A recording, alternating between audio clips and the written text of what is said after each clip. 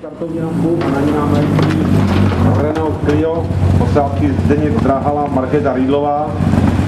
Je to Ačkový 2 litr, posádka zajela nádherné třetí místo na kopné. Zdeněk Dráhal to letos nejdřív zkoušel a tomu úplně nešlo, přesedl do Kia a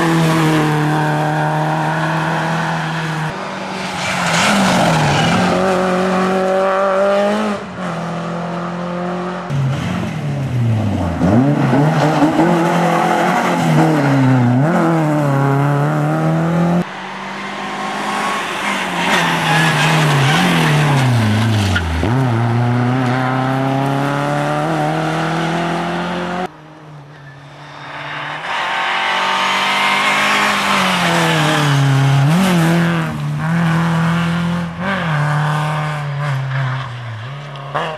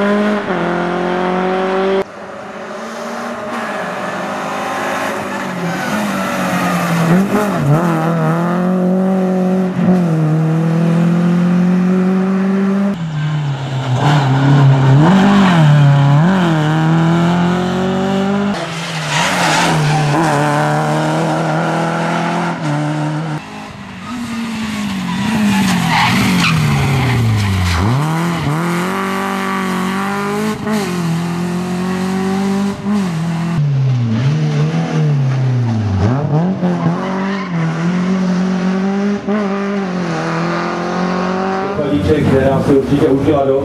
Ale pojďme se věnovat dál startovní číslo 49. Zdeněk Zavráhala, Markéta Rýdlová, čtvrtá nejrychlejší posádka, ačkový dvou litrů, ve třídě A7 samozřejmě. Slušný výsledek pro něj i pro jejich Renault Sport.